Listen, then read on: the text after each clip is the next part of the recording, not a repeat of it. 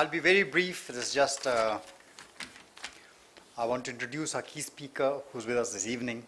And uh, let me tell you, you must all be wondering, this is the inaugural dinner actually. This should have happened yesterday. Why is it happening today? The answer is very simple. Shashi only gave us time today. so that's how you have the inaugural dinner on day one. And welcome to all of you. Uh, welcome, Shashi, for being here with us. Uh, Shashi really needs no introduction. Uh, most of you would be knowing him. He is in active politics, and he's a man of many, many, many parts. A diplomat, a scholar, an author. Not only that, for those of you who are cricket fans, if there's anything ever to know about cricket, I know Americans don't understand cricket, but if ever you want to understand anything about cricket, he's the man to go to. But you know, most importantly, he is brought to the drab world of Indian politics a glamour quotient which is matched perhaps only by Bollywood. and I say that, you know, and I say that because uh, you know, if you, if you watch Twitter, his followers, his followership is 1.25 million. There's very little competition there. There are only two competitors. Guess who they are? Shah Rukh Khan, Priyanka Chopra. Priyanka Chopra and Shah Rukh Khan.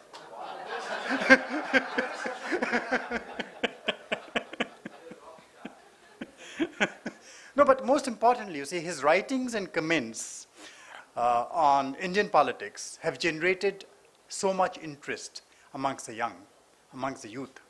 And this is a measure of that. So you have youth watching current affairs, youth following current affairs. And this is what he's brought to Indian politics, which did not exist. Uh, Dr. Shashi Tharoor, as we know him, I mean, he holds a PhD from the Fletcher School of Law and Diplomacy, uh, Tufts University, and he, you know, founded the very famous Fletcher Forum of International Affairs, was the first editor. It's a journal which has continued for 33 years since then, and is still going strong. 36? I stand corrected. yes. and Shashi has had, you know, 30 year long, I mean, distinguished career with the United Nations. And finally, I mean, he joined with the UNHCR, and, but finally left it in 2007 after 30 years as Under Secretary General to join the rough and tumble world of Indian politics. He is now a member of parliament from uh, Thiruvananthapuram, and then he became Minister of State for External Affairs. But one thing about Shashi, he's always been known to call a spade a spade. So even as he continues in active politics, he is determined to stay on it on his own terms. He will not have those terms dictated by anybody.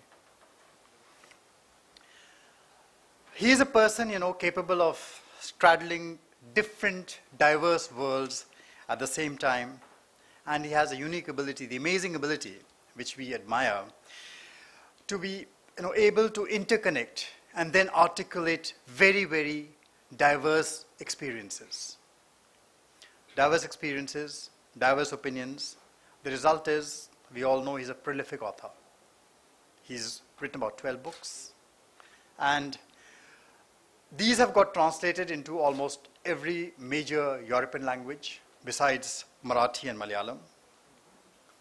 He continues to contribute to the New York Times, the Washington Post. I mean, you can list the journals and the, art, the papers he writes for. He's very widely read. And naturally, he would be a favorite on the international lecture circuit. Mean, so, and he has been carrying to audiences across the world narratives about India's transformation, India's future prospects. He's talked about freedom of the press, about human rights, literacy, and India's role in emerging global politics. But we at ORF, and I personally, know Shashi is a great friend and patron of our foundation. He's a person we never hesitate to reach out to whenever we need anything. And he has been Dean of our Forum for Global Governance, which is a policy school we've created for young leaders. But our reason for having him here tonight is because he's actually deeply interested in the subject of this entire conversation, this entire conference. That is the Indian Ocean region. As Minister of State for External Affairs, he was instrumental in placing this region at the forefront of India's strategic calculations. And actually, you know, he can count amongst the heads of states of the littoral states in the Middle East and Africa many, many, many personal friends. So he brings, you know, a perspective which, with an amazing sensitivity for the concerns of these states, for the concerns of the people, and that is really the reason why we have him here. Over to you, Shashi.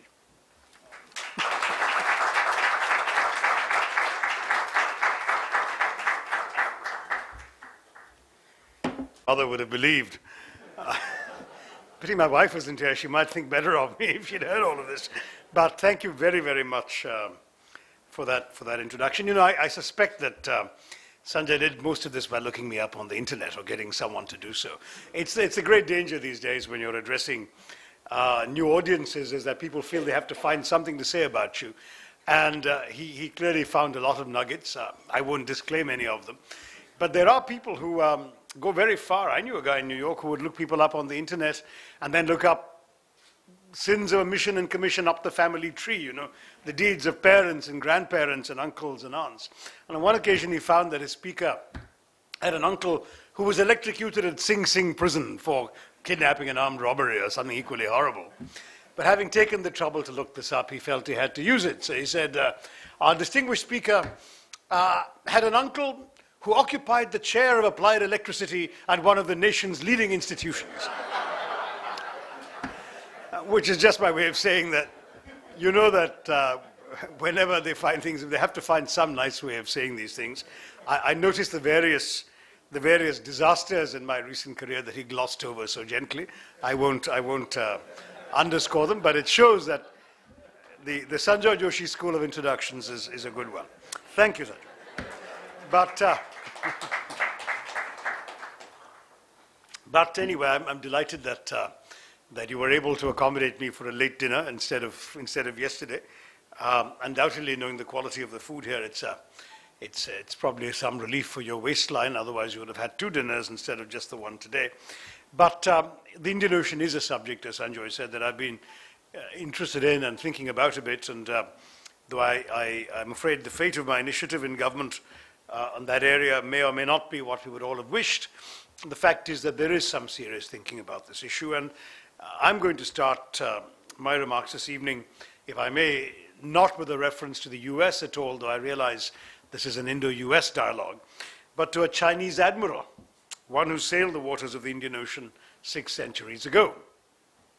In 1410, near the Sri Lankan coastal town of Galle, the extraordinary Chinese explorer Zheng He, if I'm pronouncing it correctly, Admiral Zheng He, erected a stone tablet with a message to the world.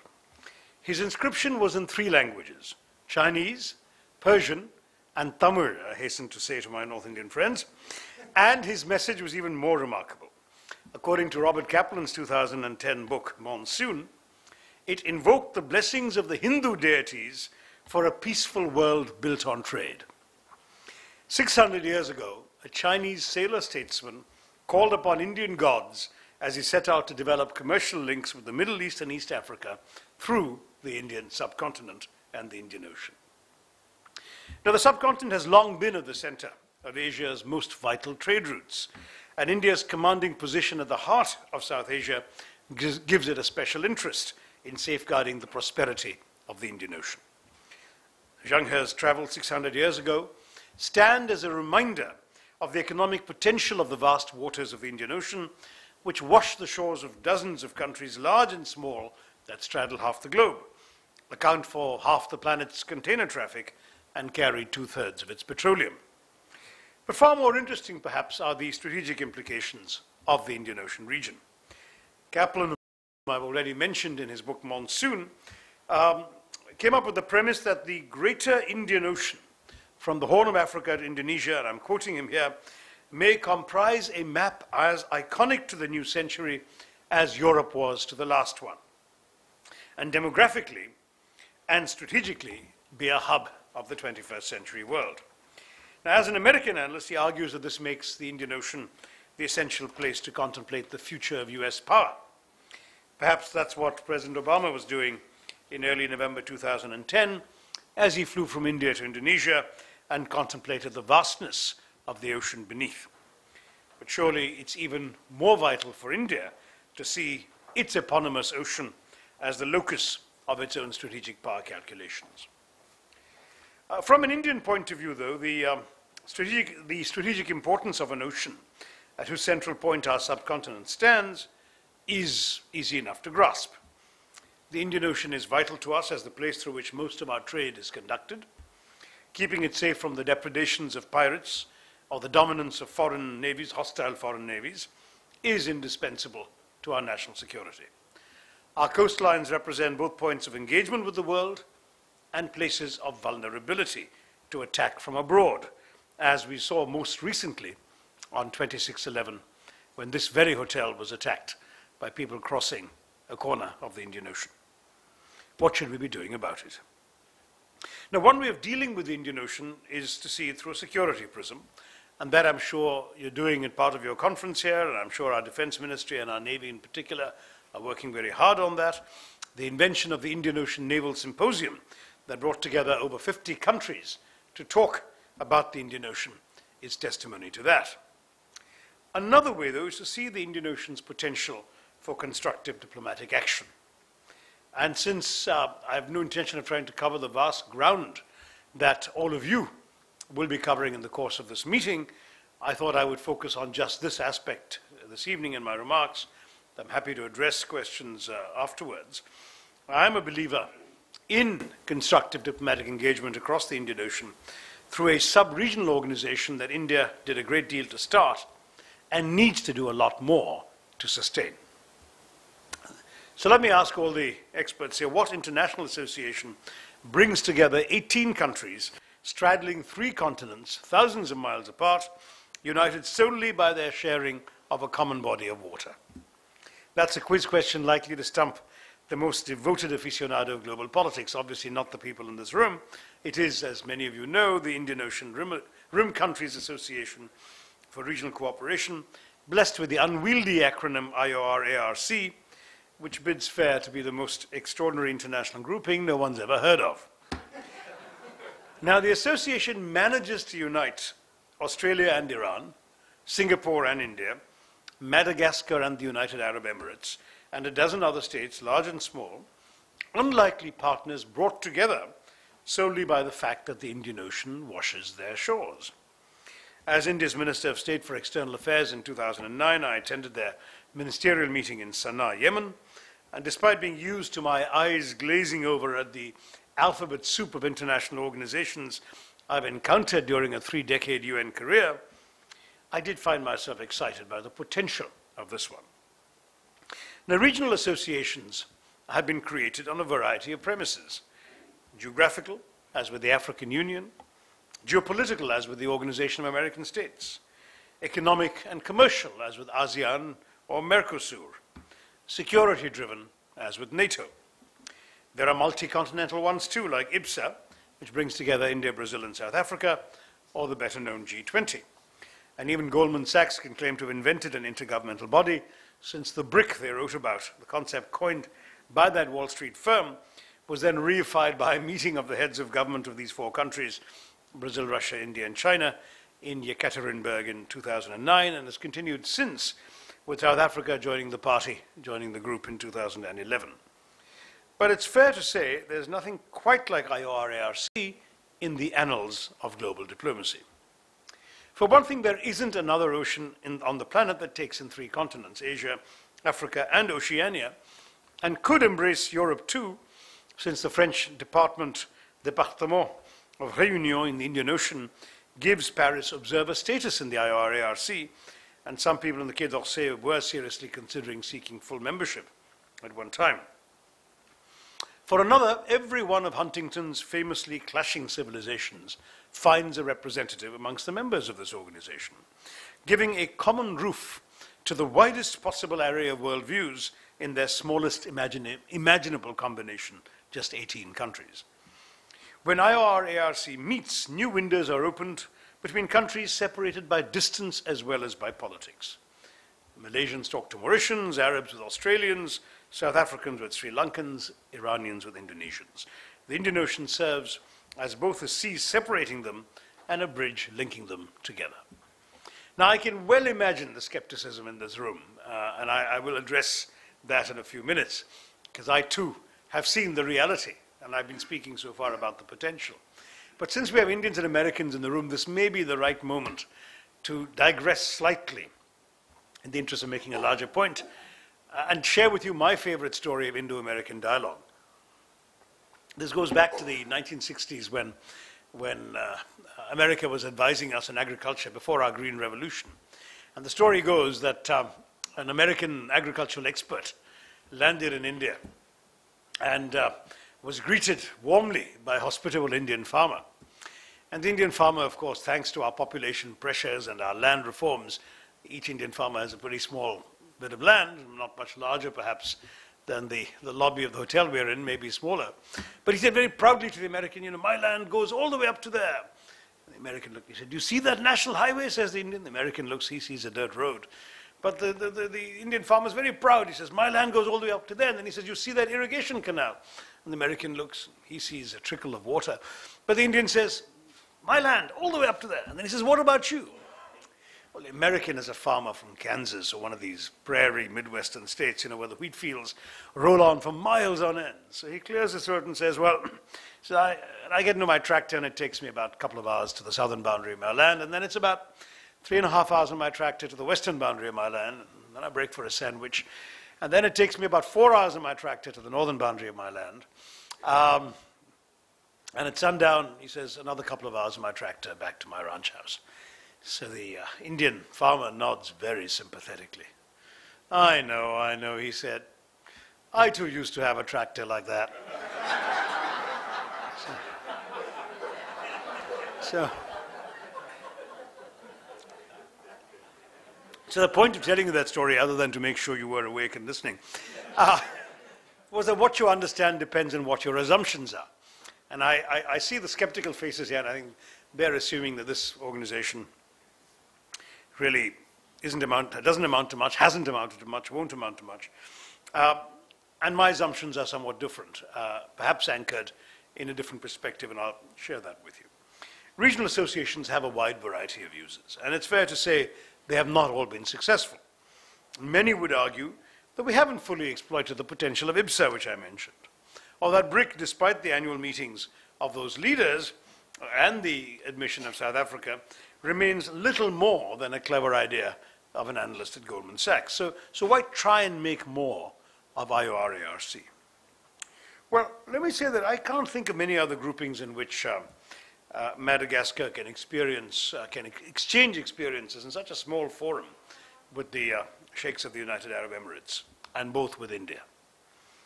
Uh, for another, the potential of the organization as a forum to um, to learn from each other, to share experiences, and to pool resources on a variety of issues is real. There are opportunities, as I said, to, to, to learn from each other um, and to pick up issues, waterborne issues, um, as blue water fishing, maritime transport, and of course piracy in the Gulf of Aden and the waters of Somalia, as well as in the Straits of Malacca. But IORARC doesn't have to confine itself to the water. It's the member countries that are members, not just their coastlines. So everything from the development of tourism in the 18 countries to the transfer of science and technology can be on the table. The poorer developing countries have new partners to offer educational scholarships to their young and training courses for their government officers. There's already talk of new projects in capacity building, in agriculture, in the promotion of cultural cooperation. When I was minister, I persuaded Australia to take on the vice chairmanship of IOR ARC after India, or under India, because it's a troika system where the, The next chairman is already named vice chairman and exceeds to office. India's just uh, taken over the chairmanship um, this year, and Australia is in wait. And I persuaded them to do that to ensure that the good work I hoped we would do in the organization would be continued by a like minded successor. Now, IORARC was in many ways India's brainchild. To let it languish is not just to write off another bureaucratic institution. It is to give up on our leadership of a region that, whether we like it or not, is indispensable to us. To engage with it and seek to revive it will take time, effort, energy, and some resources, not more than 21st century India can afford. IORARC could be the diplomatic arm of a two-pronged strategy to make Indian Ocean security and political, economic, and cultural cooperation two sides of the same glittering coin. This is why I believe we should not write off its immense possibilities. India must, in my view, pledge itself to energizing and reviving this semi dormant organization. And while our theme today focuses on Indo US cooperation, and the US is clearly not geographically eligible for direct involvement in this effort, this may be an area in which discreet support from the US could make a great difference by quietly helping persuade those member countries with which you have good relations, uh, it has good relations, to take the organization more seriously and help make it work in the collective interest. We in India haven't made much of it so far. IORARC has been treading water not having done enough to get beyond the declaratory phase that marks most new initiatives. The organization itself is lean to the point of emaciation, with just half a dozen staff in its Mauritius secretariat, including the gardener. I visited the rather forlorn looking headquarters in Port Louis and was concerned at the staff's perception that the member states had not yet accorded adequate priority to the association. So it's clear that IORARC has not yet fulfilled its potential in the decade that it has been in existence. As often happens with brilliant ideas, the creative spark consumes itself in the act of creation, and our IORARC has been neglected by its own creators. Indian policymakers have remained focused on the immediate challenge of Pakistan, the headline grabbing relationships with the US and China, rather than spend time on an area that they see as complex, inchoate, and anything but urgent the IORARC's formula of pursuing work in an academic group, a business forum, and a working group on trade and investment has not yet brought either focus or drive to the parent body. But such teething troubles, I would argue, are inevitable in any new group, and the seeds of future cooperation have already been sown. Making a success of an association that unites large countries and small ones, island states and continental ones, Islamic republics, monarchies, and liberal democracies, and every race known to mankind, represents both a challenge and an opportunity. This very diversity of interests and capabilities can easily impede substantive cooperation, but can also make such cooperation far more rewarding. In this diversity, I, for one, see immense possibilities, and it's time we pledged ourselves seriously to energizing and reviving this, this semi-dormant organization. I call upon the Americans here to recognize the value of this effort, to study it, write about it, applaud it, support it, with just enough distance so that your embrace doesn't prove fatal to the effort. the brotherhood of man is a tired cliche. The neighborhood of an ocean is a refreshing new idea. The world as a whole stands to benefit if 18 littoral states can find common ground in the churning waters of this mighty ocean. Thank you, and Jai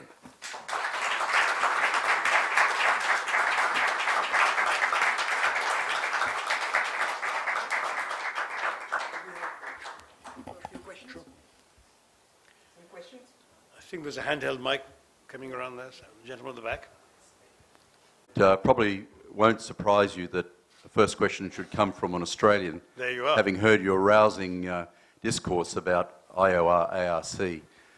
Um, but with the IOR ARC, um, do you see any significant change occurring in its charter, for example, over this period of Indian followed by Australian leadership, so that it might, for example, extend to strategic and security issues? And I guess the second question, I was recently looking at the list of dialogue partners, noting China and some others there, but not currently the United States. Are you suggesting that the United States should be considered to become a dialogue partner in due course? Thank you. On the second part, the answer is obviously yes. I should have perhaps made that explicitly clear. Um, my understanding is that the US itself has not really taken this very seriously. And as I said on the track record so far, you can't blame Washington. But I do believe that uh, the time has come uh, for us to recognize the potential, the completely unfulfilled potential of this organization. I hope that talking to all of you will help plant the seeds of this thought outside India as well. On the first part of your question, however, um, I am no longer in government, and I, it would be inappropriate of me to, uh, to comment on the progress that may or may not have been made. I can only speak for my own vision during my brief stint as vice chairman of the organization. I was quite convinced that this was something we could drive forward for all the reasons I've summarized to you today. And had I remained, I would have made it a priority as part of my portfolio. I think it's safe to say that my successor has not seen it the same way. Uh, our foreign minister himself, the EAM as we call him, did chair uh, the, the uh, IOR-ARC summit in Bangalore a month or two ago. Um, whether there was much substantive outcome from there, I'm honestly not in a position to answer because I haven't actually had the time to look at the documents coming out of it. But I think it's a safe assumption that had there been, we would have heard about it without having to look for it. So uh, I think it's probably true that, um, that uh, mine may yet be a fairly lone voice on this subject. But I think you will agree that I've made a compelling case. What I've not been able to invent is the political will to carry out and execute this approach. Uh, and that political will has to come in more than one country. So certainly, I mean, the sort of the salesmanship that I did with Australia to get you guys to, instead of going away from an organization you were losing interest in, to come in and take on the vice chairmanship, would have had to be repeated with most of the other countries in order to ensure that everyone woke up to the potential of it, uh, attended these meetings at, at, a more senior level. I'll be very honest with you, when I chaired that, that meeting, I mean, I attended the meeting as vice chair in Sanaa, um, uh, like myself, uh, the bulk of uh, the attendees were ministers of state or deputy ministers. Only three or four foreign ministers had bothered to come. Uh, one of which was Iran, which was seeing this as an organization it could use to kind of break free of its relative diplomatic isolation at that time. But I felt if, if Iran could see the potential usefulness of it, that was not an argument for others to stay away, but rather for others to see the same potential. Very uh, very, very interesting lecture. That's an adjective that masks a considerable amount of disagreement, I suspect. Go ahead.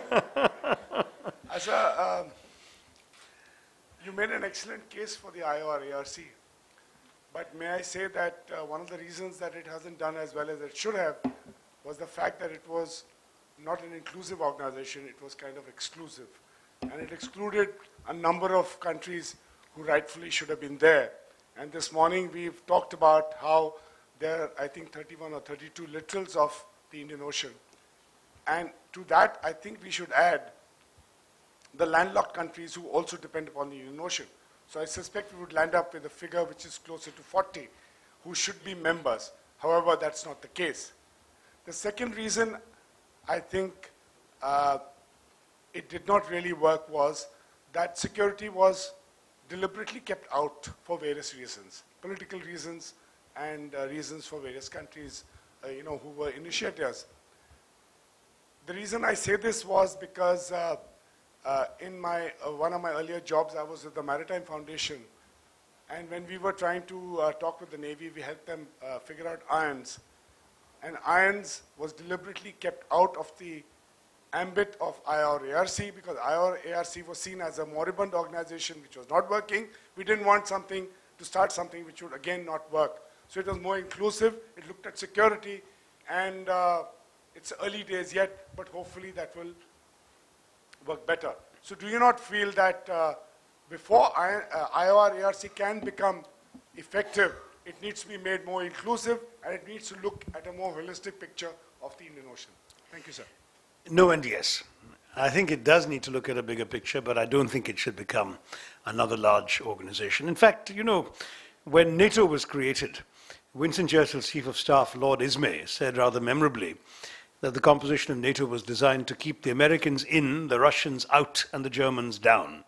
Uh, that was that that was the kind of thing. And, and frankly, I think IORARC, though I was not present at the creation, was also designed, frankly, uh, to keep the Pakistanis and the Chinese out, and to ensure that as far as possible, people with a com compatible, not necessarily identical or congruent, but a compatible strategic vision of the ocean would have a common forum within which to get together.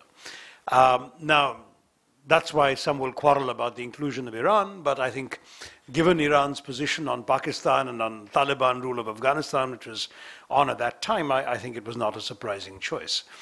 So my own view is, the second part of your question, should it not start thinking about security, is absolutely right, but it would become far more meaningful as an organization capable of thinking of security if it was a less inclusive, shapeless, amorphous club of everybody and had greater potential of getting people together around common, a common strategic vision of our priorities in, the, in, the, in, this region.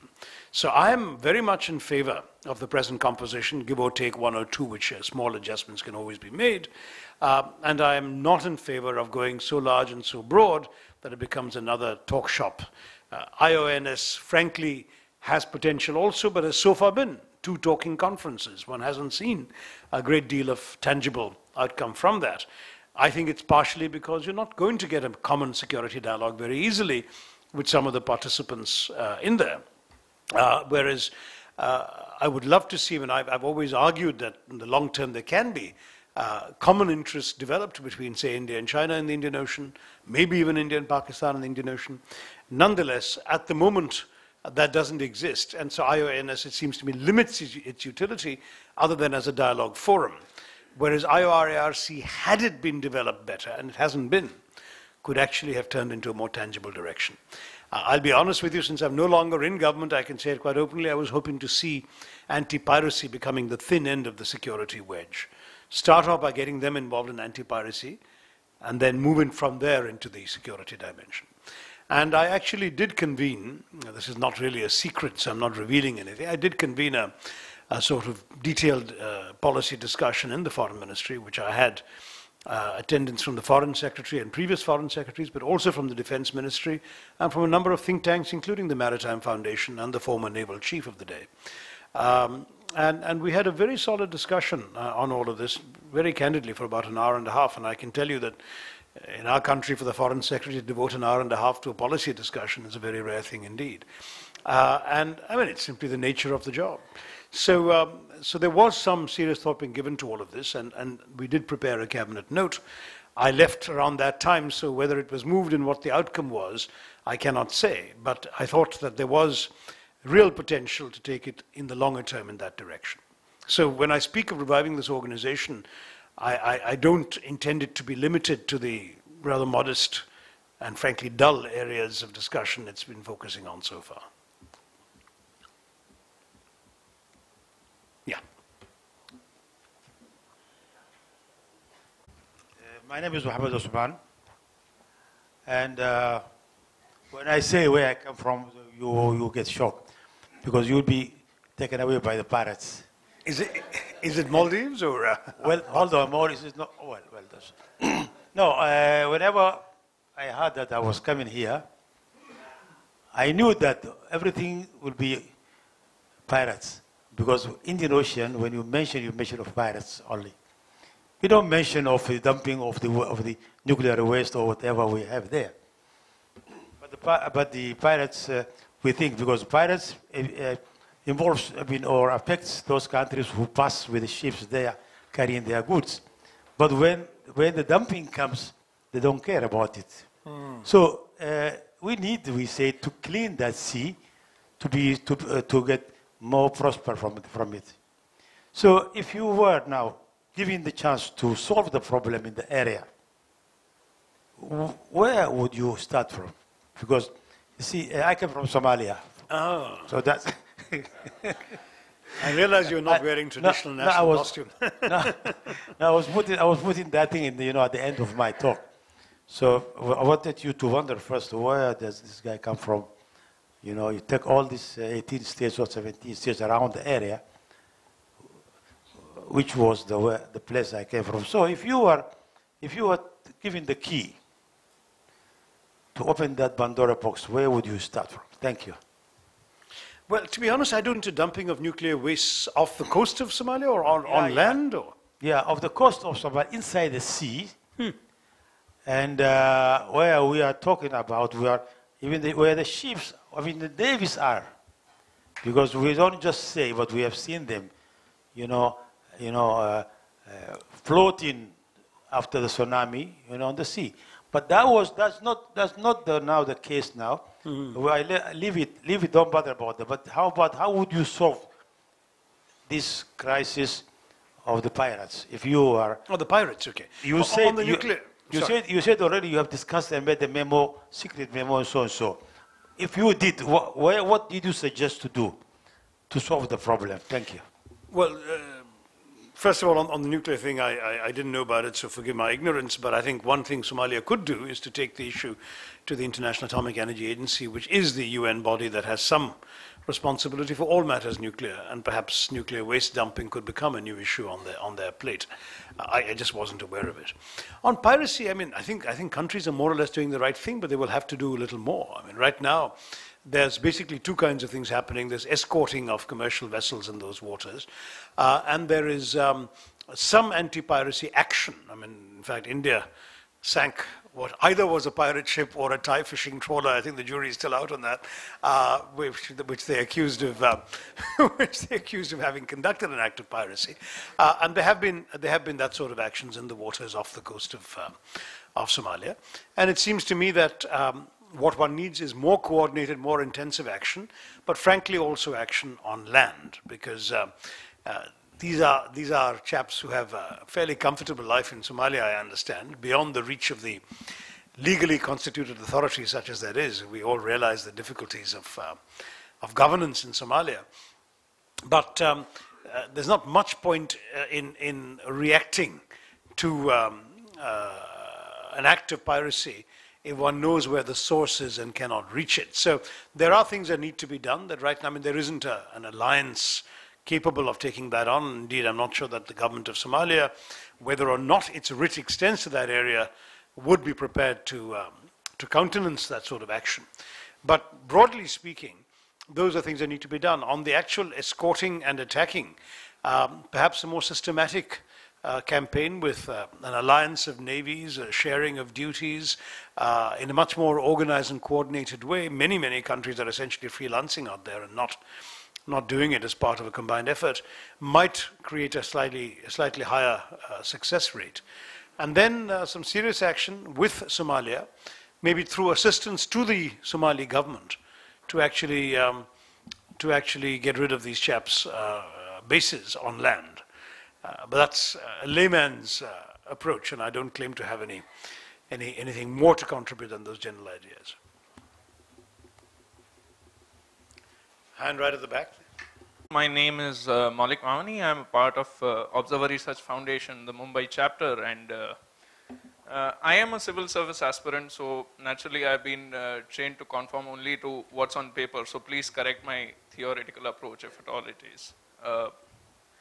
I believe that uh, we're very conservative in uh, appointing diplomats, and uh, are we ignoring bilateral relationship building and being proactive in uh, regular uh, interactions between our partners, for example, around the Indian Ocean Rim? So, is it because of which, one, we fail to elicit cooperation in multilateral forums, which often become ritualistic in their approach of getting together, having good rhetoric, and then getting back to their places? Is it that we're ignoring bilateral relations at a very heavy cost? Actually, it's the other way around. We, we, we, our diplomats tend to focus on bilateral relationships and don't expend much energy on their multilateral dimension. So you will find that we have pretty good bilateral relations with each of these 18 member countries, or 17 since we are one of the 18. But I don't think that any of our ambassadors in those countries is spending a whole lot of time thinking about, let alone mentioning or talking about IORARC. So that when these countries are actually showing up in Bangalore or before that in Sana'a, they aren't coming having been primed by the Indian ambassador to think of this as important and to, and to think forward. So they're essentially coming with, frankly, fairly tired and predictable um, uh, statements, which, which uh, are by and large underwhelming and uninspiring. So the problem is the opposite of what you've diagnosed. There, is, there are adequate bilateral relations, but one has to be able to leverage one's bilateral relations for multilateral purposes. That requires leadership from the capital, in our case, New Delhi, to tell them that this is a priority for us and we want them to raise this issue in their, in their meetings with the, the right levels in those countries so that the ministers or the ministers of state traveling to the conference come primed uh, with, with, with that kind of orientation. Whether that's been happening enough, frankly, I don't believe it has.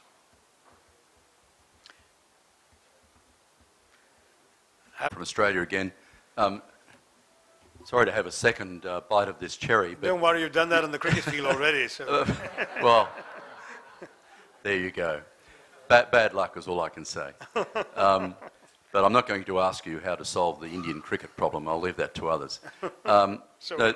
You mentioned the word leadership, and I, and I guess seeing, seeing, as you put it out there, I'll ask the question um, why is there an apparent reluctance on the part of India to exercise leadership? And I say that coming from an Indian Ocean littoral perspective. Um, my colleague um, Rahij Sohini mentioned IONS, and, and I was lucky enough to attend the, the last IONS in Abu Dhabi. But again, a, a great idea, but the, it seems to be already labouring under, under um, a reluctance of India to follow through on its initiative with exerting the sort of leadership that it needs to energise and, and, and take it forward with Australia, South Africa, Indonesia, etc., being involved. But I just wonder why th- this apparent lack of uh, willingness to, to step forward and take the leadership role. Thank you. This is not, I think you've diagnosed uh, a- a problem. I think that, um, I think that this uh, is a phenomenon that cuts across, um, cuts across many areas of, of international endeavor, uh, where we have been somewhat cautious, or as our earlier questioner said, conservative uh, in our approach on issues. And um, I'm personally of the view that we can be a lot more proactive. Um, I spent 11 months in office being very proactive, and I'm not sure I've gotten a lot of, lot of thanks, but I think it can be done. I think the system can be moved. But, um, but whether it has been sufficiently on this issue or other issues, um, I think you will find that there, there is more than one view on that. And uh, I'm not going to stand here and anatomize it for you, but I will say that, um, that certainly on some issues we could do more. And I think voices uh, in Parliament and outside Parliament need to push uh, in that direction, you know, whichever government is in office. But I'm in a particularly invidious position as a former uh, minister uh, of, of, of a ministry that would play a key role in this, and I, I would rather leave my answer right there. Thank you all very much.